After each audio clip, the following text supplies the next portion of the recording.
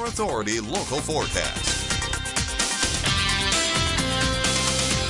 Welcome back, everybody. Hopefully, you're enjoying your Friday's Eve. We're getting close to the holiday weekend. All right, let's take a look at your RV World Yuma Sky Cam. We got the bright lights of the city of Yuma and, yeah, some cloud coverage out and about as well. So, not too different than what we've been experiencing the last 48 hours or so. Now, beyond this particular vantage point, as far as the satellite radar is concerned, you see the greens beginning to invade a little bit over in Southern California, stretching over into areas of northwest Arizona, even the Las Vegas area as well. And you would think it's starting to pop up a little bit in the desert southwest, but again, that's just radar interference. So we're really not getting any sort of rain coverage in our area at this particular time. We're not expecting it either for that matter. You can see we're pretty much in the high end 50s, low end 60s over in the Imperial Valley. On the Yuma side of the desert southwest, we're uh, pretty much in the same spectrum as well. So again, just a different night, similar results because of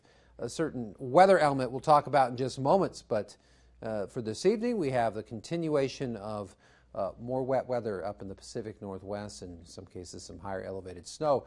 But it's pretty much confined in that particular area. The reason being is, well, high pressure. This continues to be our main source of weather, the, the main player, as you will, in our particular realm. As you can see, this thing continues to stick around, just getting pushed around a little bit, but nonetheless, it's persistent and it's going to keep us uh, milder than normal uh, for the foreseeable future. And of course, the winds certainly uh, going to have their way with us at least a little bit for your Friday, even on into the Saturday portion of the holiday weekend forthcoming. So we're not talking about wind advisories or anything like that, but we could have gust up to 20 miles an hour when it's all said and done. 59 degrees by 8 a.m. And then as we get on into the mid afternoon, we'll uh, kind of check in in the low in 70s, if not the middle 70s, in some cases even the higher 70s before we uh, dial those temperatures down a few notches as we get on into the evening time.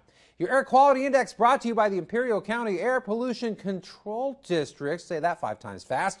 You can see that we have, for the most part, good air quality, including the Yuma area. Speaking of Yuma, here's a look at your extended forecast, your Yuma International Airport extended forecast. You can see as we get into Dr. Martin Luther King Jr.'s weekend, you can see that we are going to continue to get those temperatures in the 70s, although we're going to kind of scale it back a little bit because we'll go high 70s and then Saturday the low 70s, and we should keep it uh, relatively even Steven through and through. And then by MLK Day itself, we'll be in the low 70s before we start to get a little bit of a rise as we get on through the rest of your forecast.